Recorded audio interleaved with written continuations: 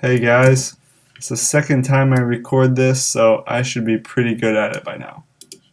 Okay, so what you gotta do is you gotta fire up JES and save a file called rotate because today we are going to be rotating images. Alright, and this is relatively simple um, because we're just rotating images 90 degrees. Um, rotating uh, images uh, something other than 90 degrees, like 45 or 20, that's a whole different story. And if I can get that working, I'll definitely post a video so you see how that works because everyone wants to know how to rotate an image that is not 90 degrees. But let's start with some beginner stuff for now. Okay, so let's define a function, let's call it rotate. Uh, rotate 90, just so we don't get confused. And we want to rotate what? We want to rotate a picture, so we pass the picture as a parameter. Uh, next, let's get the width and the height, so get width of pic, and let's get her height, get height. Awesome. So we got the width and the height of the image. Now, typically I would make a duplicate picture at this point just so I can return the image without fucking around this guy. But that's not the case with um, rotating an image because it's not going to have the same dimensions. Unless it's like uh, the image is a square, then it wouldn't matter, I guess.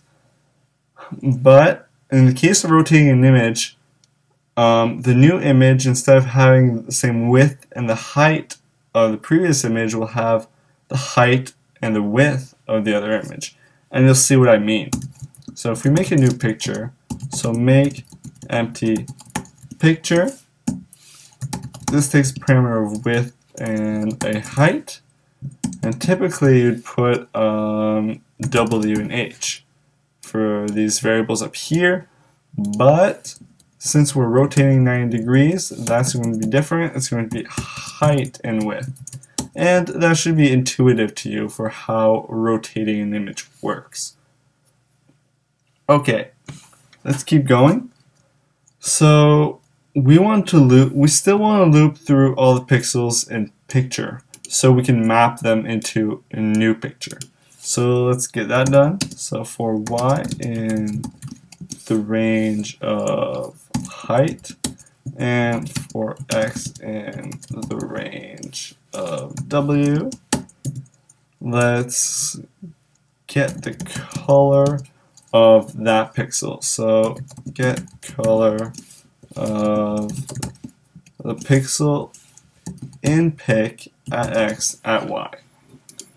So we're getting a pixel of, we're getting a, all the pixels in picture, and we're getting the color of that pixel. So that's why I call it color.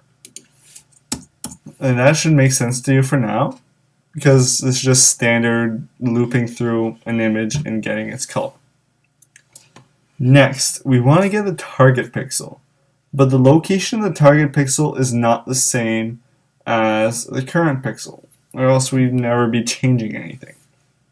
So the location of the target pixel is actually uh, the flipped coordinates of the current pixel, which is actually pretty cool. When you're rotating 90 degrees, it makes your, your, your job a lot easier. So target pixel equal to get pixel in the new picture, this is crucial, at yx.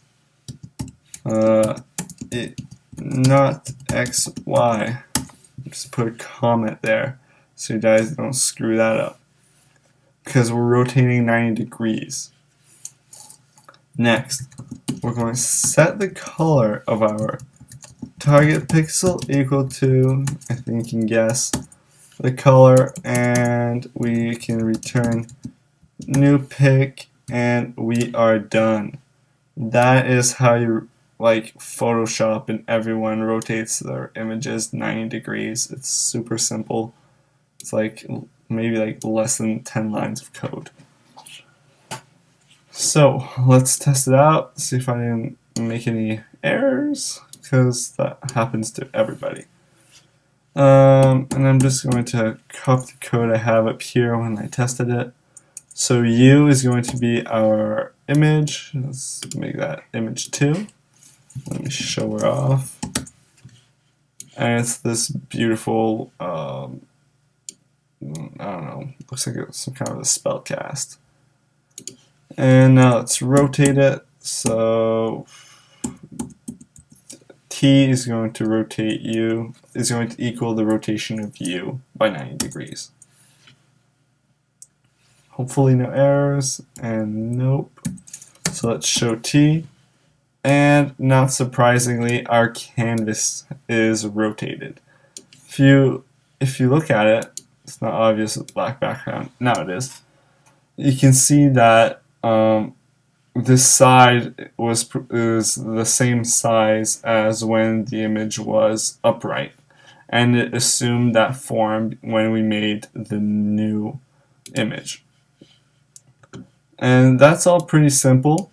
The only thing that a bit confusing is maybe this part by grabbing the target pixel. But all I have to remember is since these are flipped, these two have to be flipped and that's how that works. Guys, thank you for watching and I'll catch you in another video of mine. See you later.